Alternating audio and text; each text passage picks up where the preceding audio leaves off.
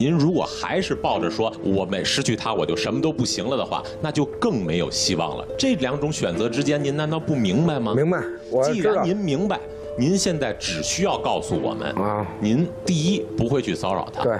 第二，您会尽量的调整自己的身体。您要没有一个健康的身体，哪个女人敢跟您？在专家的劝说下，杜先生终于态度缓和，表示不会再采取过激的方式，以免对杨女士造成压力。此时，刘月新老师对杨女士提出了一个方案：至少呢，再给她一个观察期，对不对呀？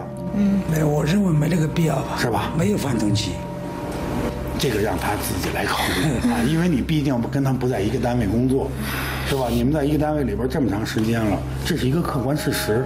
所以从我这个角度，我这个年龄，我来看你们这种事情，我就要把这种你们的工作环境因素要考虑进去。我觉得他就是一个极端主义。哎，没关系，到时候我们批评他，好吧？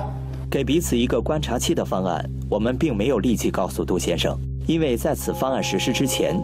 杜先生需要认识到另外一个至关重要的问题：嗯，如果您的女友改变想法，说重新尝试认识您，那是她的选择，我们祝福您二位。如果她要是不改变主意，那这种状态要一直持续下去，您明白吗？这个主动权并不在您手里了。我想这话我也希望对天下所有曾经在亲密关系当中有暴力行为的男性，你们的过错。